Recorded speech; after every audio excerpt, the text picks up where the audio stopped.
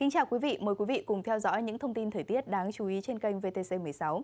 Đêm qua và sáng sớm nay, tại khu vực Bắc Bộ thì đã tiếp xuất hiện có mưa và có nơi mưa vừa như là ở Ô Quy Hồ, Lào Cai, lượng mưa ở mức 30mm hay là phong thổ Lai Châu thì lượng mưa ở mức 26mm. Dự báo trong 6 giờ tới thì khu vực Bắc Bộ tiếp tục có mưa, có nơi mưa vừa với lượng mưa tích lũy phổ biến từ 10 cho tới 20 mm, có nơi thì trên 40 mm. Cảnh báo nguy cơ xảy ra lũ quét và sạt lở đất tại khu vực vùng núi và ngập úng cục bộ tại các vùng trũng thấp ven sông. Ba tỉnh như là Điện Biên, Lai Châu, Lào Cai thì cần phải đặc biệt lưu ý tới khả năng xuất hiện lũ quét, sạt lở đất và ngập úng cục bộ, đặc biệt tại các huyện. Ở tỉnh Lào Cai thì cần phải chú ý huyện Sapa, Bát Sát và thành phố Lào Cai.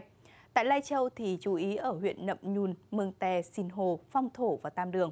Còn tại tỉnh Điện Biên thì cần phải lưu ý là huyện Mường Nhé, Mường Trà, Nậm Pồ, Mường Lay, Điện Biên và Điện Biên Đông.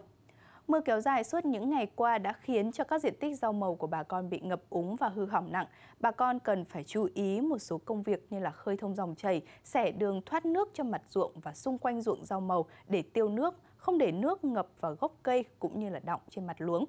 Đối với diện tích rau màu thì cần phải à, lưu ý, đặc biệt là với những diện tích mới trồng, cần kiểm tra mức độ thối của cây giống, thu gom các cây bị thối để tránh lây lan, chăm sóc kịp thời bằng cách phá váng nhẹ mặt luống, tưới hoặc là phun các loại phân siêu lân và chất kích thích da rễ kết hợp với việc trồng rậm, bảo đảm mật độ, phun thuốc phòng các loại bệnh héo xanh hay lở của rễ.